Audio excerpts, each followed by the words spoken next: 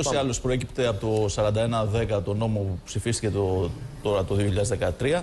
Ε, το να ξαναδούμε, να επικαιροποιήσουμε, έλεγε, τα στοιχεία του πίνακα 2, τα αγροτεμάχια. Το είχαμε ξαναπεί εδώ στην εκπομπή ότι πρέπει να μπουν όλοι και να επικαιροποιήσουμε το ε9. Μάλιστα, βλέπουμε για τις κάρτες. Όσοι διαθέτουμε. Όσοι διαθέτουμε. έχουν, παιδιά, ναι. αγροτεμάχια. Βέβαια, εκεί υπήρχε η περίπτωση μου δόρισε ο παππούς μου, μου μεταβίβασε ο παππούς μου έξι στρέμματα, γράψε 7. Δεν ξέρω που είναι. Δεν ξέρω, πού είναι, οπότε ξέρω εκεί, πού είναι. εκεί Τώρα, υπάρχει, επειδή υπάρχει μπαίνει φόρος, μια αντικειμενική ενδεχομένως δυσκολία. έχει Εδώ τώρα κάποιος που- κίνητρος Θα πάρουν τα σοβαρό βουνά. να πάει όταν, κανένα. όταν προκύπτει φόρος, πρέπει να βρούμε ακριβώς πόσο είναι και Αν δεν το δηλώσεις, τι γίνεται σε αυτή την Θα περίπτωση. το σώσεις. ένα ακριβή δήλωση έχουμε εκεί. Αν δεν το δηλώσεις, δεν το ξέρει κανείς. Δεν το ξέρει κανείς. Εντάξει, παιδιά, δεν είναι τόσο απλό. Δεν είναι απλό καθόλου. Έχουμε Βεβαίως ηλεκτρονική- και δεν είναι απλό. Υπάρχουν, υπάρχουν κτηματολόγια πλέον, υπάρχουν Υπάρχουν αυτά. Για τίτλοι, να ναι, κάποια βέβαια. στιγμή αρχίζει και γίνεται κάποια διασταύρωση.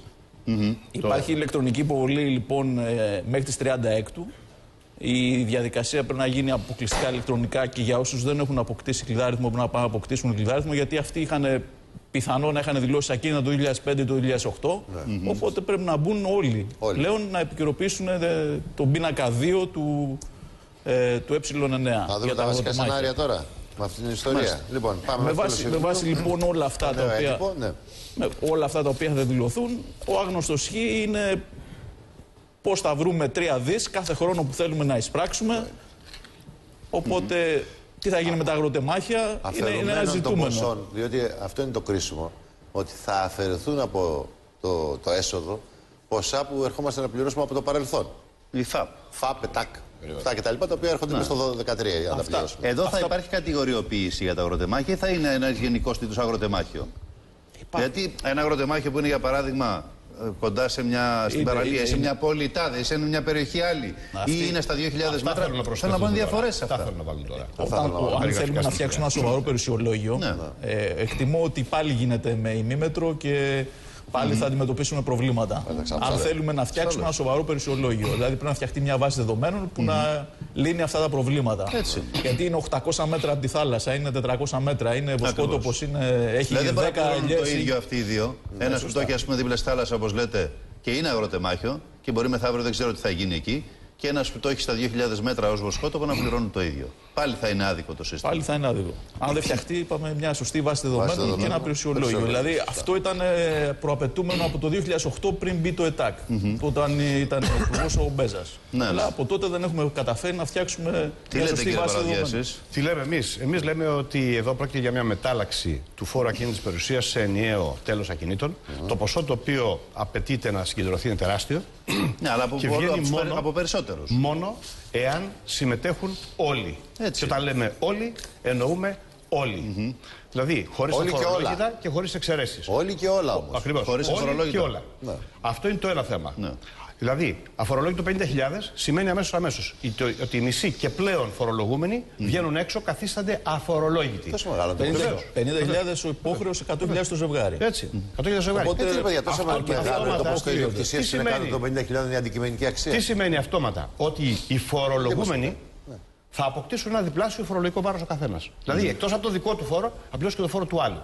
Λέμε λοιπόν ότι το πρώτο είναι ο Ναι, αλλά καθένας. 50.000 Ο ιδιοκτησία είναι; καθένας πρέπει να πληρώσει το φόρο που αντιστοιχεί στην Α πληρώσει ιδιοκτησία 10 του. ευρώ, ρε παιδί μου, αυτός με τα 50 Ναι, ναι, χιλιάρικα. εντάξει, καλά, Ας ναι. πληρώσει Α οτιδήποτε. πληρώσει 5-10 ευρώ. Δεν μπορεί Αναλογικά να, λέμε να να θέλει πάνε να αυτά. διεκδικεί κανείς βέβαια. είτε για τον εαυτό του, είτε με οποιαδήποτε ιδιότητα. Να λέει: Εγώ είμαι βιομήχανος, είμαι βιοτέχνης, είμαι έμπορος, είμαι γεωργός, το άλλο και θέλω το φόρο για τη δική μου περιουσία να βρεθεί ένα άλλο κορόιδο να τον πληρώσει.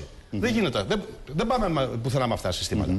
Άρα να Δεύτερο- μην υπάρχει αφορολόγητο. Να μην Να μην υπάρχει. υπάρχει, βεβαίως. Α, μάλιστα. Μα η Για να εισπρακτική πληρώσουν επιτυχία τα μεγάλα του τσιφρά, Έλληνα για να καταλάβω αυτό λες. βασίζεται ακριβώς σε αυτό ότι πληρώνουν όλοι. Όλοι και από λίγο. Δηλαδή πρέπει να κατέβουν οι συντελεστές. Όλοι και από λίγο. Το Αυτοί όμως δεύτερο- που λένε αυτό που λέτε εσείς, όπως λέει για παράδειγμα Ναι, ναι. η Δημοκρατική Αριστερά, επιμένει στο φορολόγιο. Κοιτάξτε, ναι, το ξέρω ότι επιμένει στο Λέει φορολογικό. λιγότερα Δεν βγαίνει ο από λογαριασμός. όλους. Άρα λοιπόν αυτό σημαίνει βγαίνει ο ότι λογαριασμός. θα Δεν στείλουμε βγαίνει. ένα σημαντικό αριθμό φορολογουμένων ή στην κατάσχεση τη περιουσία του, να χάσει την περιουσία του, ή στη φυλακή. Ξεκάθαρα πράγματα. Αυτό Γιατί, σημαίνει βέβαια, το αφορολόγητο. Δεν πρέπει να λάβει όμω Αυτό κανεί σημαίνει το αφορολόγητο, ας μην Κατά γινόμαστε. τεκμήριο. Μισό. Το Κατά δεύτερο, τεκμήριο. το Μισό δεύτερο. λεπτό λέω. Να το να το Όχι, όχι, ψάξουμε θέλω πολλέ να σα πω το δεύτερο, γιατί πείτε ξέρω το ότι δεύτερο. θα μου πείτε ότι η εκπομπή ο χρόνο έληξε κτλ. όχι, όχι, Αυτό όχι, το δεύτερο. όχι, έχουμε χρόνο. Το Εντάξει, δεύτερο και είναι το πολύ δεύτερο. σημαντικό. Ε, Το έμπειρος. δεύτερο είναι η τύχη, η τύχη αυτών των ακινήτων που με το ΕΤΙΔΕ, λόγω του ότι δεν είχαν ρεύμα, δεν πλήρωσαν ΕΤΙΔΕ, που είναι τα μακροχρόνια ξενίκια στα ακίνητα, στον καινούργιο ενιαίο φόρο. Εάν υποχρεώσουμε τους ιδιοκτήτες των αστικών ακινήτων Ναι. και κυρίως των καταστημάτων και των γραφείων με τεράστιες αξίες να πληρώσουν ενιαίο Για να φόρο. βγουν αυτοί; κανονικά, αυτοί θα πάνε για τη φυλακή. Γιατί δεν υπάρχει μέσα. Για δεν καθίστε υπάρχει κύριε μέσα. Παραδιάκη. Έτσι, Τώρα- δεν Τώρα είναι- δεν γίνονται ο αυτά που καθένας λέτε. έχει διαφορετικές Δηλαδή αυτό ιδιότητες που έχει μια αυτή τη μεγάλη στιγμή. περιουσία Εμείς, λοιπόν, με με ακίνητα επαγγελματικά να μην πληρώσει. Εδώ είναι που λένε δεν μπορεί να συμπέσει Ακούστε, ενοικιαστής με τον ιδιοκτήτη Ακούστε οικονόμου. λοιπόν τι σας Τελείωσε. λέω. Εκεί λοιπόν λέμε, εμείς- γενικό εκεί λοιπόν μοντέλο, λέμε ναι. το εξής πολύ απλό. Ναι. Κάθε ακίνητο το οποίο στο ε2 της προηγούμενης χρονιάς έχει δηλωθεί ολόκληρη τη χρονιά ξενίκιαστο, Μάλιστα. θα παίρνει μειωτικό συντελεστή 0,50 την επόμενη χρονιά.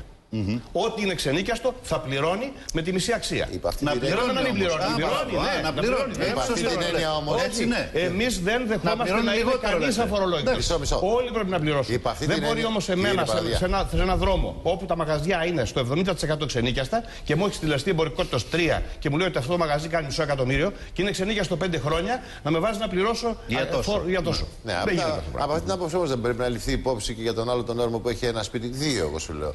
Και είναι δύο χρόνια άνεργος. Δεν, έχει είπαμε, εισόδημα. δεν είπαμε Τι θα όχι σε γίνει αυτό. τότε; Αυτό ούτως ή άλλως θα γίνει.